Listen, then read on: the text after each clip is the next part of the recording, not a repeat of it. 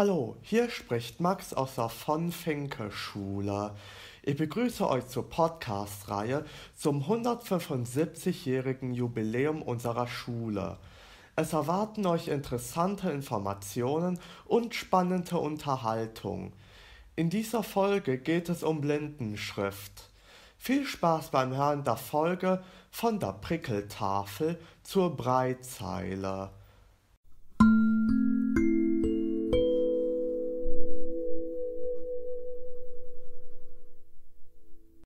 Sind Jana und Johannes. und heute wollen wir uns über Breilschrift unterhalten. Genau, als erstes die Frage, Breitschrift bzw. die Punktschrift, wie es glaube ich eher geläufig ist. Wie kann man sich das vorstellen? Das ist so ein System aus Punkte, die füllbar sind. Die, es gibt verschiedene Kombinationen und daraus sind Buchstaben. Also zum Beispiel A ist ein Punkt, B ist zwei Punkte. C sind auch zwei Punkte, die sind aber anders geordnet. Also die sind halt nebeneinander und bei B sind die miteinander. Also sind dann quasi für jeden Buchstaben gibt es dann eine spezifische Kombination und Das System ist eigentlich aus sechs Punkte. Mhm. Also es gibt sechs insgesamte Punkte und mit diesen sechs Punkte kann man ungefähr 64 Zeichen bilden. Und ja, also wenn man das lernt und auswendig kann, das ist wie normale Schrift und dann kann man einfach lesen und schreiben. so auf, auf Medi Medikamentenpackungen, da, da sieht man das auch häufiger mal.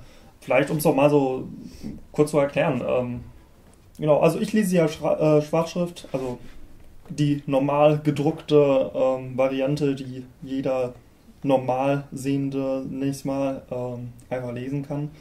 Und dann gibt es natürlich noch die Punktschrift, dieses System aus, aus den Punkten, was dann die Blinden halt mit, mit Hilfe ihres Fingers dann halt fühlen können und, und dann halt so lesen.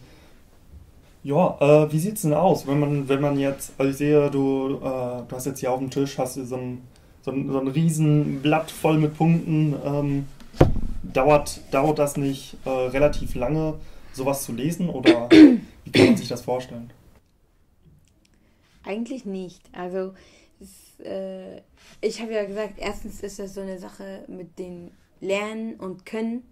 Also wenn man das halt von, ich weiß nicht, sechs Jahre alt von der ersten Klasse oder sowas kann, dann ist das ja auch nicht so schwer. Also dann kann man das halt ganz normal, ähm, wie es ein Normalsehender zum Beispiel beim Lesen können würde. Aber es gibt auch verschiedene Schriftarten, die das vielleicht äh, einfacher machen würden. Es gibt die Basisschrift, wo einfach alles geschrieben ist. Also, äh, also jeder Buchstabe ist da.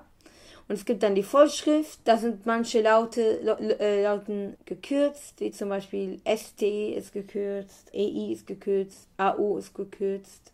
Und es gibt dann die Kurzschrift, da sind so häufig benutzte Wörter und vielleicht so Wortendungen und oder sowas auch abgekürzt, aber die muss man auswendig können und dass man das richtig schnell lesen kann. Sprich, bei, bei der Kurzschrift ist es dann so, dass es für, für so beispielsweise häufige Wörter wie zum Beispiel ein, ein Ich oder für Artikel wie der, die, das, dass es da dann einfach nur, nur quasi ein einziges Zeichen gibt, was dann da steht, anstatt halt, dass das in drei, einfach drei so, wenn, wenn ich zum Beispiel Ich schreiben möchte, dass ich nur ein Zeichen quasi lesen muss, anstatt I, C und H. Ja, auf jeden Fall. So, jetzt, jetzt natürlich die erste äh, Frage natürlich so zur, zu, zum, zum Technischen.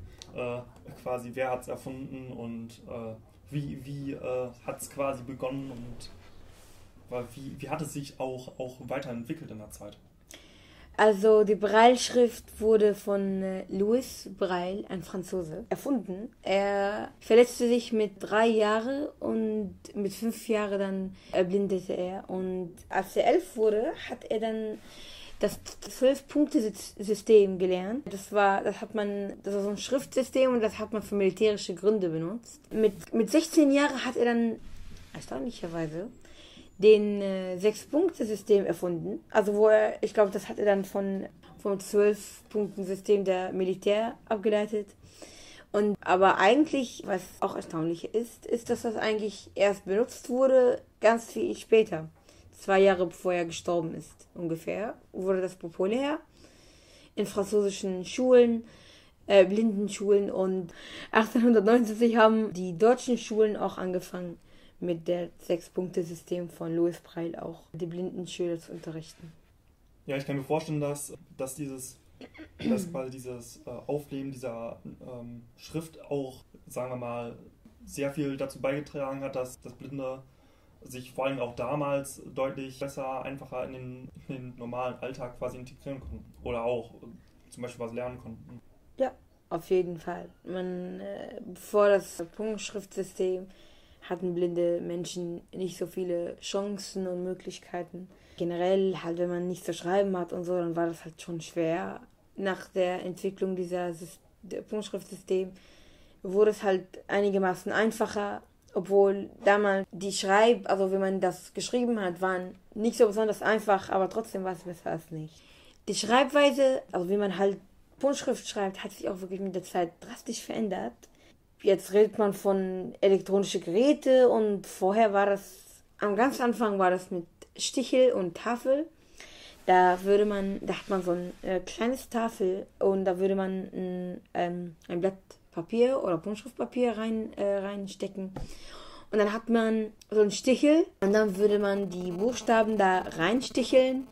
Und die schwierige Sache ist, dass man die ganze Schrift und von, äh, von rechts nach links und verkehrt rum. War bestimmt sehr hart, dass man das sogar schnell machen müsste, aber das wurde tatsächlich an Schulen unterrichtet. Und Schüler und Menschen haben das für ihr Arbeitsleben und Schulleben täglich benutzt und für den war das Alltagssache.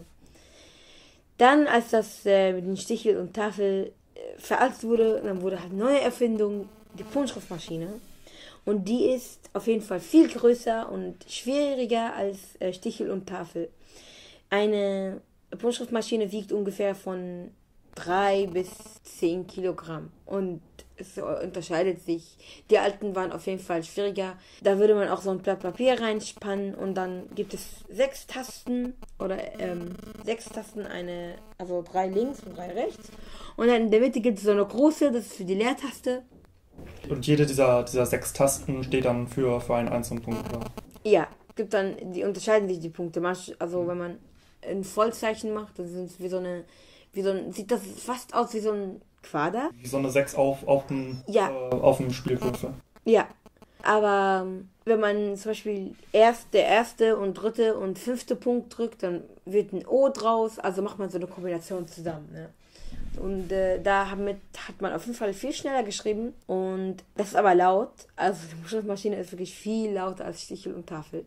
Und das vielleicht, das stört manchmal, vielleicht wenn man so in der Schule ist oder so, ne? Ja, also äh, da, da kann ich mich quasi auch noch leibhaftig so ein bisschen dran, äh, dran erinnern, ähm, als ich damals auf, äh, in, auf diese Schule gekommen bin, äh, in der fünften Klasse, jetzt vor vier Jahren, ähm, mit äh, die Punktschriftmaschinen, die dann da die ganze Zeit herumgerattert haben. Ich gebe mal zu, das ist wirklich laut. Ja, mittlerweile äh, sind wir ja in der neunten Klasse und jetzt sind so, zumindest aus unserer Klasse, die, die Punktschriftmaschinen eigentlich weitestgehend äh, verschwunden. Erzähl doch mal, wie, wie du da jetzt arbeitest. Äh, wie gesagt, als ich in der Grundschule war, war das noch mit Buntschriftmaschinen. Dann, als ich zur fünften Klasse gewechselt bin, da haben wir angefangen mit Laptop und Braillezeile zu arbeiten. Und äh, das habe ich dann gelernt und das mache ich jetzt immer noch. Genau, Breitzeile, ähm, wie, was ist das? Wie, wie soll ich mir das vorstellen? Also die Breitzeile ist so ein rechteckiges Gerät, der Punkte vom äh, Bildschirm überträgt mit Hilfe einer Software.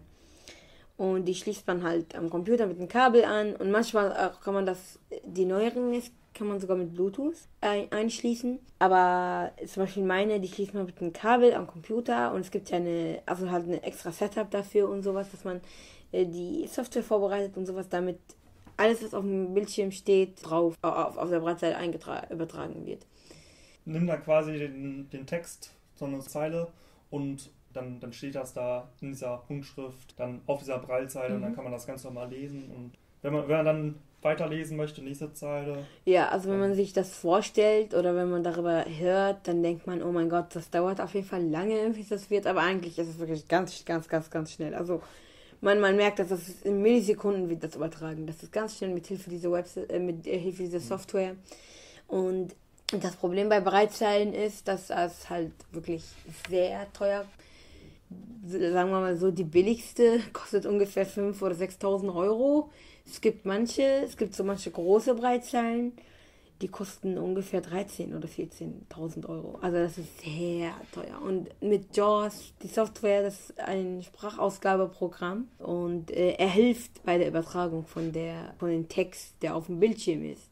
JAWS hilft dabei und JAWS kostet auch ungefähr 1.200 Euro. Also das ist wirklich sehr, sehr, sehr, ein, ein sehr teuren Setup, aber auch sehr hilfreich und kann viele Sachen, die man halt nicht, also blinde Menschen, die arbeiten jetzt in viele Sachen, ne? Die arbeiten in Büros, die sind Lehrer, es gibt manche, die sind Professoren, also man kann vieles mit Hilfe dieser neuen Geräte, dass man das sich nicht so richtig vorstellen kann, ne?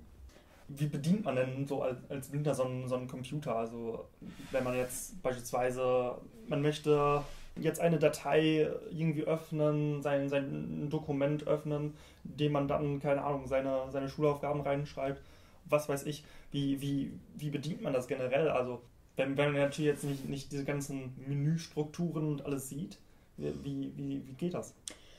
Also blinde Menschen, die können ganz normal ähm, mit Computer arbeiten, wie es halt ein Sehender tun würde. Der einzige Unterschied ist nur, dass die halt ein Anschlussgerät haben und so. Das ist der einzige Unterschied. Es gibt ja JAWS und NVDA. Ich persönlich habe nur Erfahrungen mit JAWS.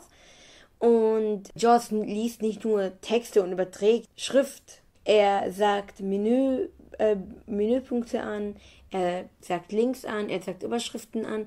Es gibt sogar so einen schönen Weg oder Shortcut, den ich neuestens entdeckt habe, was sehr gut ist, ist, dass äh, man einen bestimmten Shortcut drückt, wo JAWS die dann beschreibt, wie die Schrift und die, das Wort aussieht. Also zum Beispiel, er sagt, das ist fett, äh, das ist schwarz auf weiß, die Schriftgröße ist 14, das ist Verdana. Da sagt er formatiert oder nicht. Wenn schon, dann sagt er äh, Überschrift Ebene 1. Also, also kann JOS wirklich sehr viel. Also mit JOS kann man alles am Computer machen. Die Sache, die aber ein bisschen nicht so gut ist, dass vielleicht manche Webseiten nicht so besonders kompatibel sind mit JAWS und dann ist das ein bisschen schwer. Ja, also wenn du ähm, ich habe ja gesehen, du, du benutzt auch ein Smartphone. Ähm, wie sieht das aus? Also, äh, ich, ich stelle mir das jetzt sehr interessant vor, äh, an, an so ein Smartphone eine Breitzeile anzuschließen. Das äh, wird ja wahrscheinlich nicht der Fall sein. Thema. Stell dir vor, das würde ja nicht in die Hosentasche reinpassen oder so. Genau. ja, also man kann das eigentlich auch Breitzeile an ein iPhone schließen, aber das ist wirklich zu unpraktisch und keine Ahnung, man macht das einfach nicht gibt, äh, also ich rede jetzt vom iPhone. Der iPhone hat ähm, eine Sprachausgabe, das VoiceOver. Naja, die Android-Handys haben das auch. Ja, er liest auch die Sachen und zeigt Menüpunkte an und Links und alles und auch Überschriften. Also quasi, quasi wie JAWS an, äh, am ja. Computer ist quasi VoiceOver für, fürs Handy dann da. Ja, also ähm. es gibt auch einen Unterschied ne, so zwischen JAWS und VoiceOver. Auf jeden Fall ist JAWS besser. Also Deshalb kostet er ja so viel. Ne? Er kann viele Sachen, die aber nicht kann. Aber die, die man auch so nicht braucht am, am Handy. Ne? Er kann Sachen, die man an JAWS, kann Sachen, die man am Handy nicht brauchen würde. Deshalb, ähm, also VoiceOver ist ja kostenlos, ne? Außer wenn man halt für das iPhone bezahlt, aber das macht ja jeder fast. Also jeder bezahlt, kauft ein iPhone, weil er das machen möchte, ne?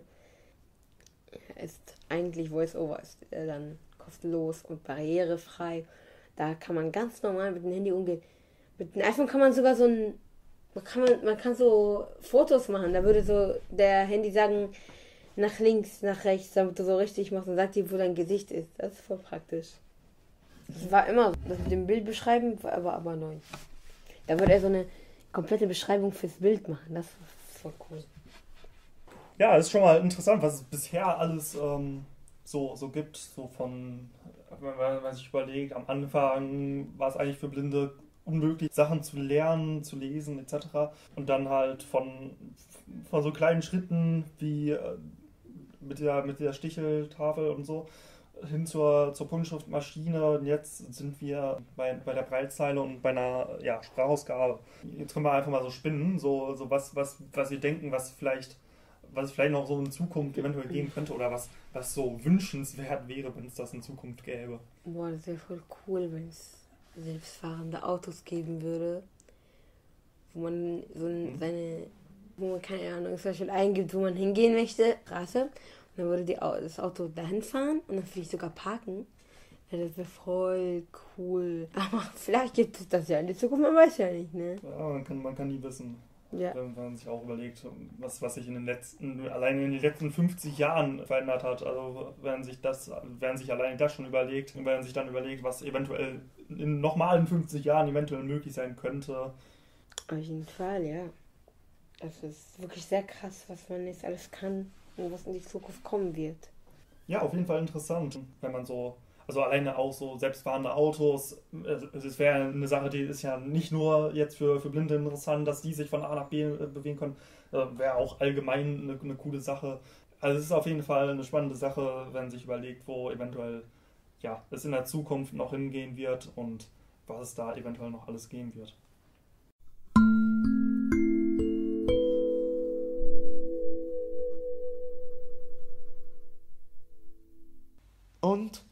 Hat's euch gefallen? War ganz spannend, oder? Schön, dass ihr dabei wart. Es gibt noch mehr tolle Folgen. Bleibt neugierig und hört mal rein.